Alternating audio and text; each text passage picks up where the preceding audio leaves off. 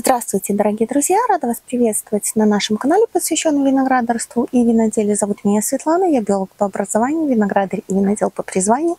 С нами выращивание винограда и виноделия понятно и доступно. Этот винодельческий сезон еще только-только начинается, много ягод еще дозревает на кустах, а мы с вами дегустируем урожай прошлого года. Пробовать сегодня мы будем 15 из смеси прибалтийских сортов винограда. А, там у нас э, Лепсна, Супага, Паланга, Вардува, а, Ядвига, Галюнаса.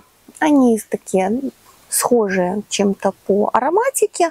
А когда-то мы пробовали их эм, делать отдельно белые, отдельно розовые в сухих, а, смесь э, в сухих. Но больше всего нам понравилась игристая. И ввиду того, что ароматика у них такая схожая, ароматика яркая, то мы решили остановиться на игристых винах. Вообще любой ароматический сорт, э, у которого яркие такие вкусы, в игристом он просто замечателен.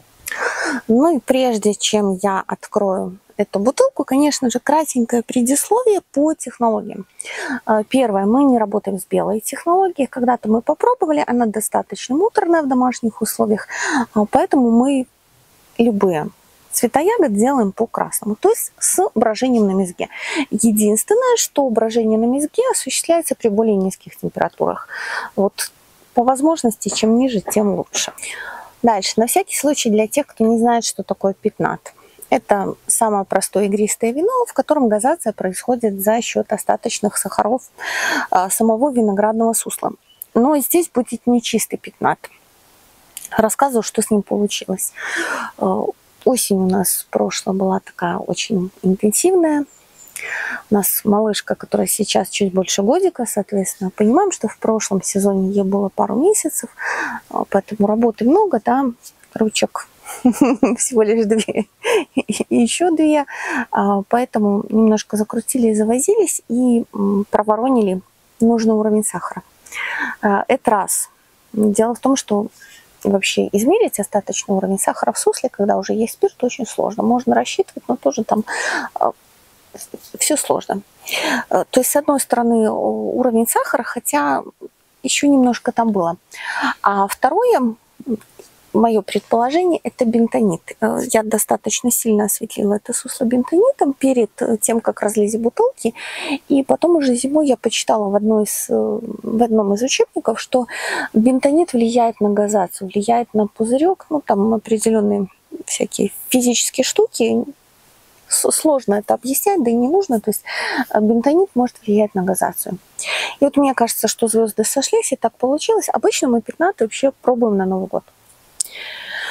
Мы открыли и понимаю, что газации там практически нет. Ну и прошлый сезон был такой тоже не самый лучший, да, очень холодная осень, дождливая там. И сахар размыл, ароматику размыл вообще. Э, э, Все неудачно. И получается, что и само по себе вино это пустое, если брать его, ну, как сухой вариант газации, там особо нету. А, я погрустила, погрустила и решила, что нет, я буду не я, если я это не исправлю. А, взяла виноградный сок, у меня был закатан. Культурными дрожжами мы не пользуемся вообще. Ну, почему? Потому что вот у меня есть просто убеждение, что если у меня есть дикие природные дрожжи, я, я умею с ним работать, да, я, я умею их приручать, и я буду пользоваться тем, что дала мне природа. Так вот, значит, я беру виноградный сок, у нас на тот момент еще а, бродили сидры, мы берем сидра дрожжевой осадок, заливаем в сок, а, получается закваска, я добавляю немножко сахара, даже не сахара, я все-таки сделала как положено ликер. Вообще, если будет вот интересна эта тема не, не до газации, э, то я, я снимала, могу смонтировать ролик, рассказать и показать, как это было. Э, так вот, я откупориваю все бутылки. Ну, благо их было немного. Где-то, наверное, 12 или 15, но это не то количество. И заливаю туда по норме ликер. И заливаю туда дрожжевую вот эту закваску. И вновь укупориваем. Это было, ну, может, может быть, январь, может быть, февраль. Сейчас сентябрь. Ну, наверное, я опять немножечко просчиталась в плане газации, хотя, э, ну, сейчас оценим. да, что у нас получилось. Немножко подержала в морозилке бутылочку, чтобы нам было легче ее открывать. Хотя, когда открываешь, она не сразу выплескивается. Ну, наверное, даже сможете это пронаблюдать. И еще такой момент осадок не удаляли. Вот как он есть, так он есть. Все, вот прошлый сезон мы решили, что мы не будем никаких делать вот этих вот э, макияжей и улучшителей нашим винам. Вот если они мутноватые, и мы понимаем, что это не патологический процесс, да, это не какое-то заболевание вина. Все, мы ничего с ним делать не будем. Оно будет таким, как какое оно есть. И э, все игристые тоже мы решили я думала этот момент вырезать. Светит солнце, да, поэтому стоит зонтик, а, чтобы немножко кадр был лучше, но, пожалуй, оставлю. Значит, э, решили мы наши вина не шлифовать, ничего с ними не делать, поэтому может быть мутновато. И смотрите, перед тем, как мы откроем бутылку, да, еще один такой момент. В погребе она стояла вертикально, в морозилку я ее положила горизонтально, сейчас я ее опять поставила вертикально, поэтому понятно, что осадок замутился. А, я не ожидаю, что жидкость будет полностью прозрачна, но, повторю еще раз, это не патологический процесс, это нормальный дрожжевой осадок, который специально оставлен в этом вине. Ну что ж, открываем. Я надеюсь, что больше никаких чипов у нас не случится. Итак, пах. Ну, все-таки оно немножечко стреляет. Как видите, я с газацией опять промахнулась. Да, сначала в одну сторону, потом в другую. Ну, все, активная пена ушла, но у нас остался мелкий пузырек. А вот такой у нас мутноватый напиток. А, тонкий мелкий пузырек э, поднимается. Ну, даже сильно не буду показывать, потому что плоховато видно. Во-первых, видите, тут кто-то еще прилетел. Какой-то шершень, он тоже хочет попробовать. Видно, ему тоже вкусно. Холодное, да, я вам говорила, что э, с морозилки я достала э, бокал запотевший, плюс само такое мутноватое, немножко взболтанное. Поэтому будет мало видно, хотя вот сверху, если посмотреть, то видно, что такой красивый поднимается мелкий пузырек. Но все-таки я сняла камеру со штатива, чтобы показать вам игру пузырьков. Видите? То есть они э, активно поднимаются, и они мелкие.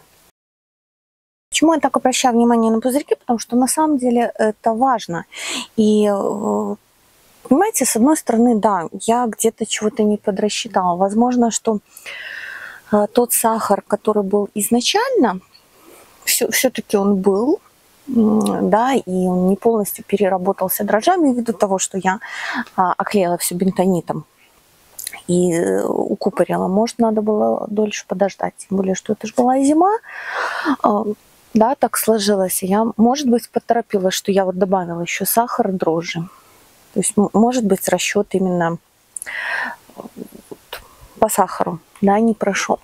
А с другой стороны, может быть, дрожжи сработали э, слишком интенсивно, потому что, опять же, смотрите, чем медленнее брожение, тем пузырек будет мягче и мельче. То есть, смотрите, с одной стороны температура брожения, да, она была низкой. Это зима, там порядка, наверное, 6, ну, может, 10 градусов было в погребе. А с другой стороны, дрожжи были как раз-таки в самой своей активной фазе, а, поэтому они так интенсивно поработали.